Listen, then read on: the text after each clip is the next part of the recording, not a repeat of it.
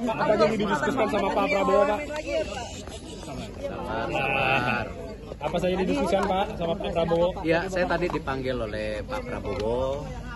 Beliau memberikan arahan bagaimana rencana ke depan karena tentu situasi dunia sedang tentu kompleks ya, kita bisa lihat.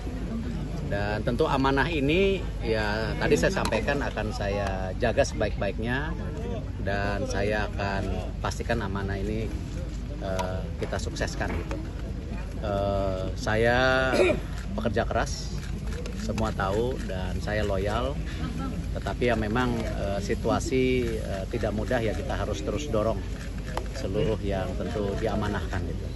Spesifiknya Pak, Pak? Apakah sama seperti yang Bapak Beliau lagi Pak? Saya rasa itu tupoksi beliau sebagai Bapak bidangnya Pak, Presiden. bidangnya Bidang apa, Pak? Kembali eh, beliau yang nyampaikan nanti. Kalau saya yang penting fokus yang ada. Tapi tadi Pak Prabowo sendiri amanatnya apa Pak? Saya tidak bisa sampaikan sebelum beliau sampaikan. Besok ada pembekalan ya Pak di Hambalang. Besok di Hambalang ada pembekalan, Pak. Eh, saya kurang belum dapat informasi.